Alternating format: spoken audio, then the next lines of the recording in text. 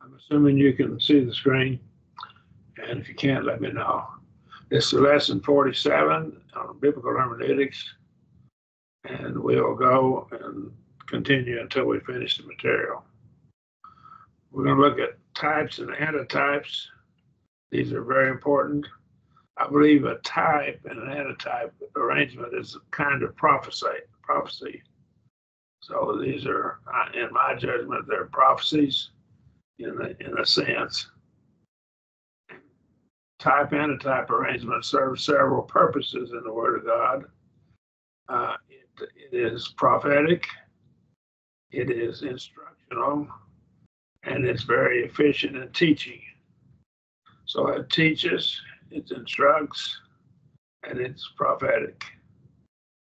And so it's very efficient in its teaching as well. The word type is, according to Merriam-Webster, is a from Greek typos or typos, a blow or impression, a mark, an emblem, an allegorical or symbolic representation of some object, which is called the antitype. A symbol which prefigures something else. This is pretty good. Pretty good definition from English dictionaries. Antitype, that which is correlative to the type, that which is prefigured or represented by the type itself. So again, this is our English words, type and antitype. And uh, Anti, antitype comes from the Greek word antitupos. We'll look at that in just a minute. The word, the type is the tupos, is the Greek word. Tupos or typos. Uh, in other, in fact, our English word type came from this line, this word. The, the, mark of a stroke, or a print, a figure formed by a blow or an impression an example to be imitated in the doctrinal sense, a type uh, that is a person or thing prefiguring the future messianic person or thing. So again, something in the past that prefigures something in the future. It was designed to prefigure. That's that's the key to it. Designed to do that. That's typos or typos.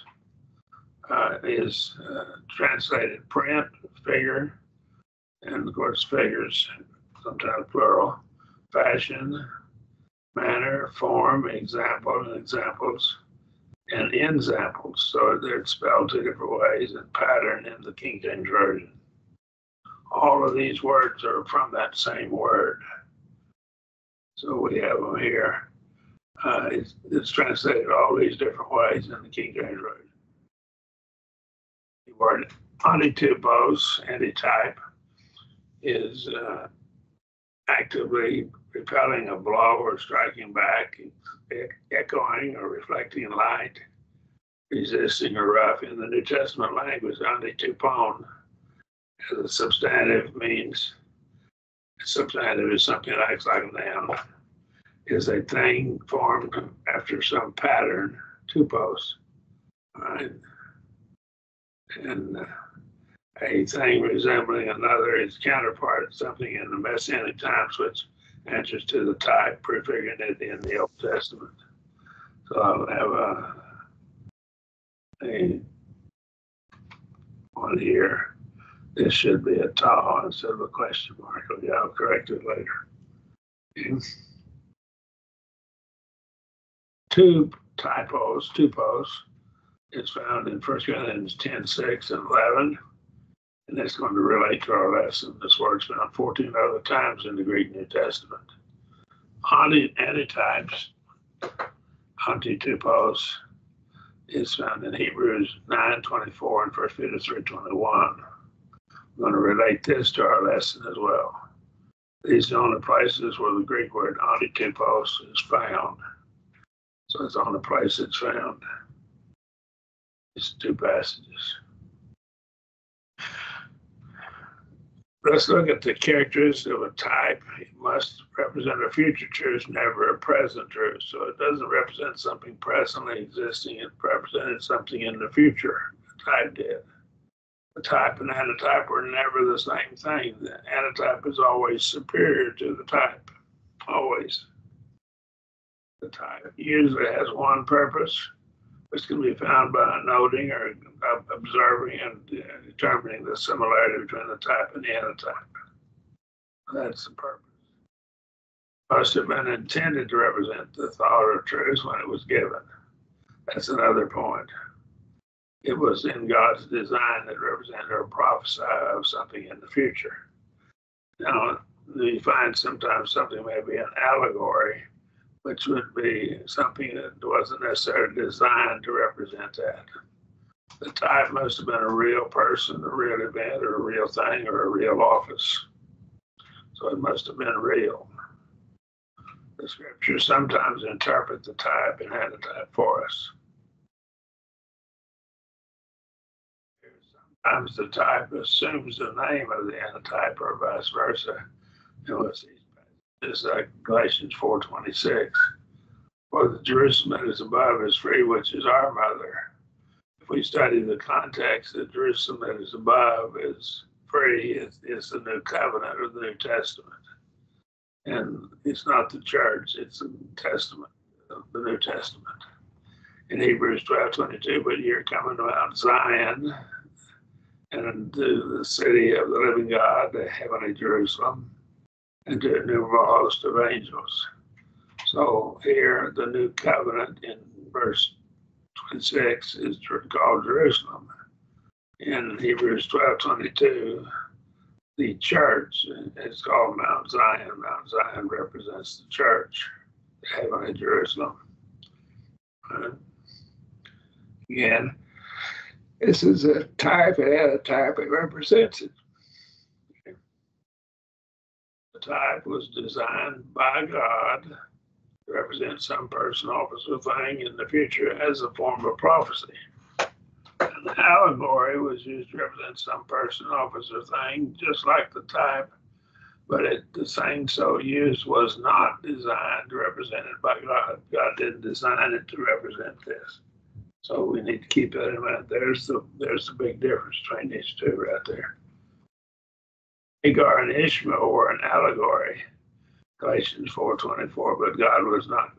Uh, they were not designed by God to represent Christians and Jews, although they did in the allegory. We'll come back to the allegory of this later.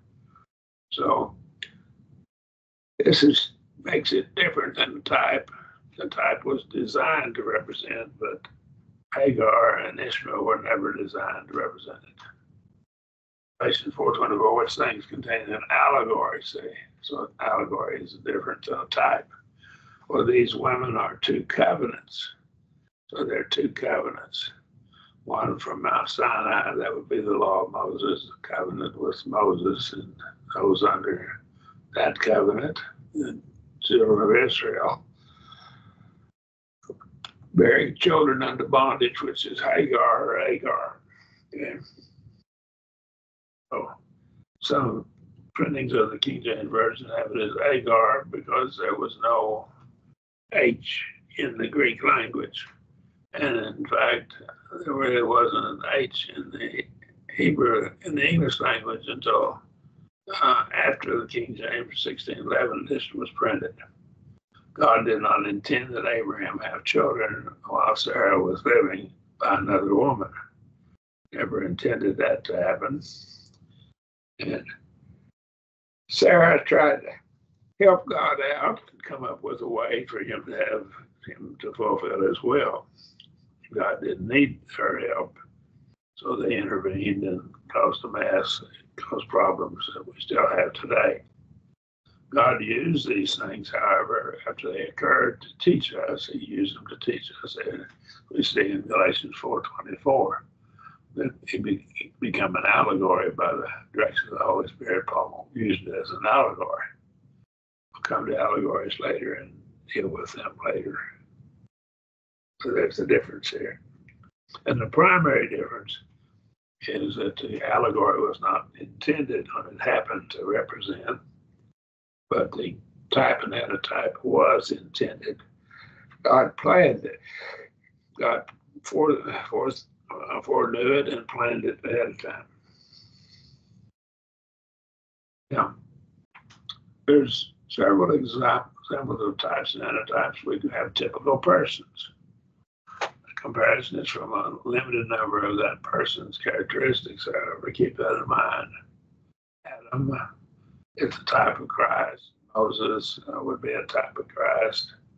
As a mediator, Melchizedek as a high priest, David as a king, and David as a prophet as well. Melchizedek as priest and king, Moses as mediator and prophet and lawgiver, Adam as the beginning. We'll come to it later. Elijah. These these men, we can have them look at the characteristics of their lives and get some information have examples or types, antitypes. Romans 5:12, therefore, as though through one man sin entered into the world, and death through sin, so death passed unto all men, for that all sin. So right here, this became a type, a type that by which uh, the uh, world had sin to enter, and then for until the law sin was in the world, but as far as the law led you, sin was in the world until or with view to the law. But sin is not imputed where there's no law. So the law laid out what sin is. There's no law. If, it, if, it, there's, if there's no law, there's no sin. So, but if sin is not imputed, there's no law, he says. Nevertheless, death reigned from Adam until Moses, even unto them that had had not sinned after the likeness of Adam's transgression, who is a figure of him that was to come. See right here, that's the word figure. That's the type. So the first man, Adam, brought death. The second man, Adam, brought life. But not as the trespass, also as the free gift. So the trespass of Moses in the same light, there's a free gift, a, a gift given by Jesus in his death. For by the trespass of the one the many died, much more did the grace of God and the gift by the grace of the one man, Jesus Christ, found unto the many. So the, the blessing of Jesus came to take away and to bring good rather than to bring sin into the world and not as through one that sin. So his gift for the judgment came of the one and the condemnation, but the free gift came of many trespasses unto justification. So here we see the free gift, which is God's grace, His favor that brought remission of sins, uh, brought a plan of salvation. And this came through Jesus, the second Adam. Jesus became the second Adam. For if by the trespass of the one death reigned through the one, much more shall they that receive the abundance of grace and the gift of righteousness reign in life through the one, even Jesus Christ. So death came through one, that is through Adam, and his sin and the favor, the gift of righteousness. Uh, reign in it will reign in life through the one even through Jesus. So what Jesus brought. So then as through one trespass the judgment came unto all men to condemnation. That's through the trespass of Adam. Even so through one act of righteousness, the free gift came unto all men to justification of life. So how was this an act of righteousness when Jesus was crucified? It's an act of righteousness because it took the blood of a an innocent person to bring about remission. And because of God's being just or fair or righteous, he had to purchase with that blood, he had to purchase all the people that are going to be saved. And if Jesus were just a mere man and just a perfect man, but mere man, he would have only purchased one person. But since he's God in the flesh, he's deity, then we, we determine that he's infinitely more valuable than the than the human blood. His blood is so his his blood has the potential to bring about remission to an infinite number of humans. So there's no limit to his the blood reaching and being able to make atonement. So that's why it's an act of righteousness. And so we see a contrast between judgment and, and, and salvation, life. Judgment came into condemnation, so through that one trespass. Uh, and then the free gift of uh, what the Messiah brought, Jesus brought, will bring justification to all men. in Romans 5 19, for through the one man's disobedience, that's Noah, uh, many were made sinners. It doesn't say everybody was made sinners, it says many were. And they're made sinners if we study it through their through their sinning, through their being given over to sin. Even so, through the obedience of one shall the many be made righteous. The many is just as big a number here, and it's a it is a, it is a concept that is uh, doesn't lay out clearly how many this is. The word many just means a bunch. It doesn't have a number. So we need to be aware of this. Point is discussed in Romans 5, 12 through 19, 1 Corinthians 15, 22, and 15, 45 it's a form of antithesis in these verses, these passages. So we see it in antithesis. The disobedience of one, the obedience of another, just the opposite.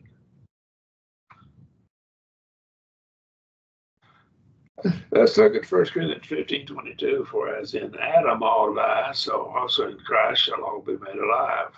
So again, we have death and life in contrast to each other. Death came to what Adam did, and that part learning to be both physical death and spiritual death. But the spiritual death came because of sin and separated man from God. But the physical death didn't come at that time, it came later for Adam and Eve.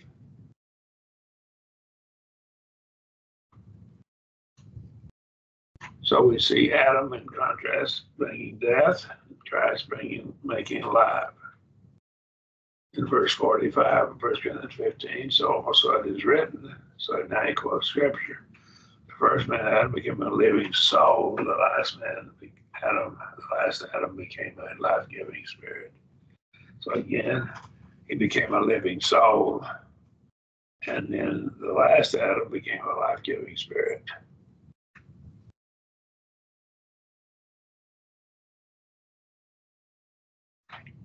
This type and the type arrangement is a form of antithesis.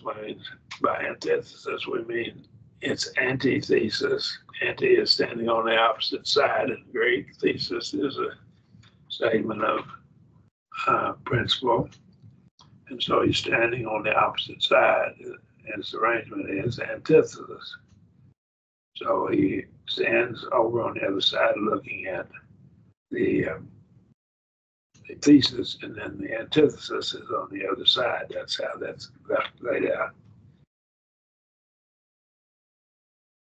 Adam, the type, was beginning of sin. Christ, the that was the end of sin. There's your antithesis. There's the two sides of the coin, we might say, the opposite side of the coin. The type was disobedient. Christ, the antitype, was obedient. So Adam brought sin. Jesus brought an end to sin, a remission of sin. Adam was disobedient. Christ, Jesus, was obedient. Adam, the type, brought death. Christ, the antitype, brought life. Again, these are all parts of this type antitype arrangement. The type was natural. Christ, the antitype, was spiritual. Again, we see the contrast between the lesser and the greater. That spiritual is greater than natural let's back up a little. Death is greater than life. Uh, life is greater than death, I'm sorry. Obedience is greater than disobedience. Beginning of sin, the end of sin. The end of sin is greater than the beginning of sin. Jesus, the Messiah, the Christ, is superior to Adam in every way in this in this contrast. Most of the comparisons between Adam and Jesus are antithesis, set against one another, opposite to each other.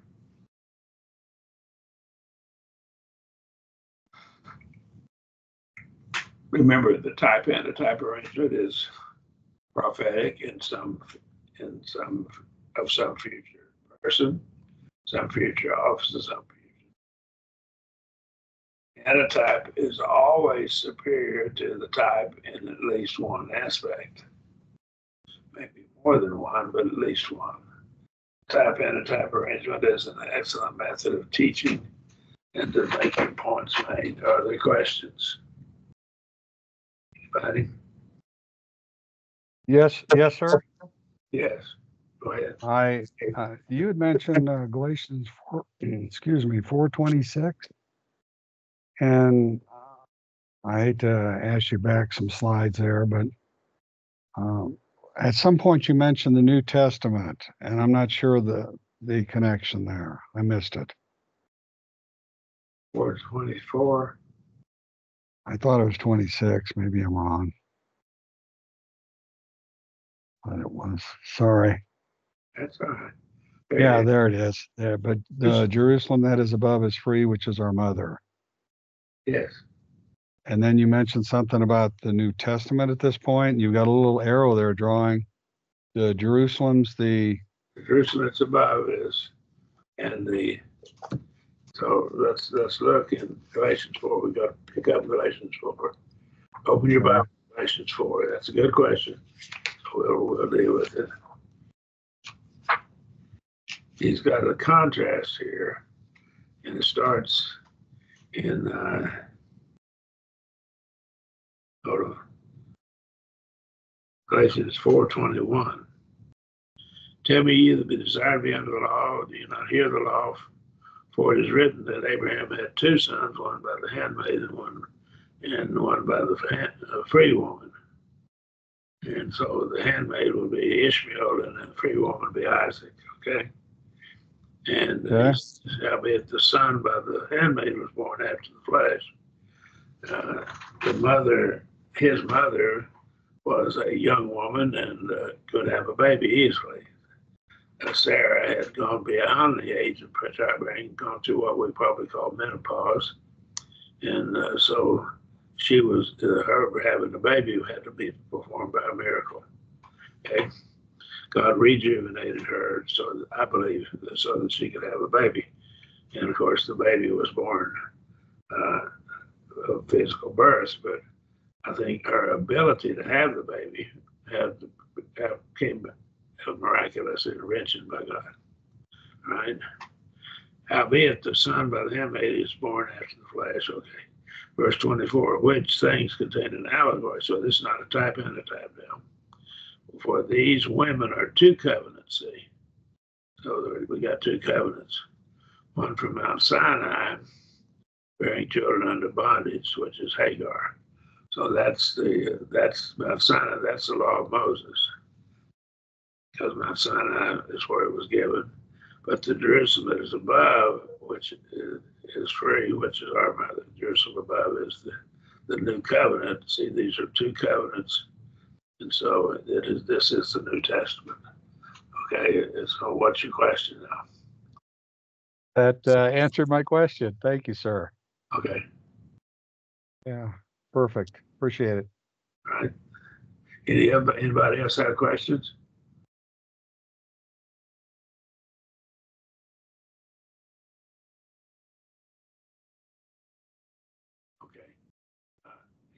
That's the two covenants there. We'll get to this later. This is an important passage. Covenants here, and they're laid out. Right, This is the end of this la- class for today. Uh, we don't have last week's up yet on the, on the YouTube, but it'll be up, uh, no doubt in the near future, okay? So we're gonna end the class right now. Stop recording.